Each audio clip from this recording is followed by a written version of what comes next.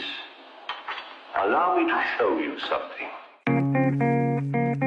So growing up, I was always known as the art kid. For Christmas, I would always get paint supplies. Like everyone knew that I loved art and it was almost like my escape. Like forget the world, forget reality. I was in my pencil and paper, doodling, doing whatever the fuck I wanted until high school when an art teacher kind of ruined it. I would associate art with detention and I kind of just stopped doing it. That is until recently and I feel like a kid again. The moral of the story is don't you dare let anybody take away that fire inside of you.